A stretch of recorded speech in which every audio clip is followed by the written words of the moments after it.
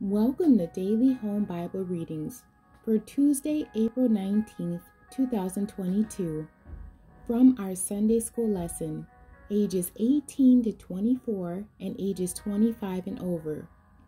I do not own the rights to this music.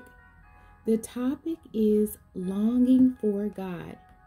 Psalm 42 As the hart panteth after the water brooks, so panteth my soul after thee, O God. My soul thirsteth for God, for the living God.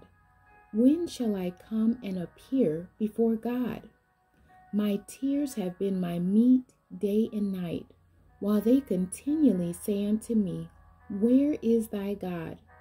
When I remember these things, I pour out my soul in me, for I, I had gone with the multitude I went with them to the house of God with a voice of joy and praise, with a multitude that kept holy day.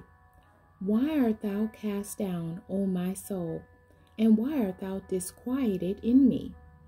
Hope thou in God, for I shall yet praise him for the help of his countenance. O my God, my soul is cast down within me. Therefore will I remember thee from the land of Jordan, and of the Hermonites from the hill Mizar. Deep calleth unto deep at the noise of thy waterspouts. All thy waves and thy billows are gone over me.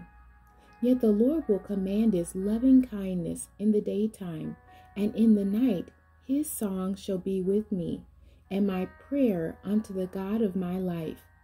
I will say unto God, my rock, Why hast thou forgotten me? Why go I mourning because of the oppression of the enemy? As with a sword in my bones, mine enemies reproach me, while they say daily unto me, Where is thy God? Why art thou cast down, O my soul?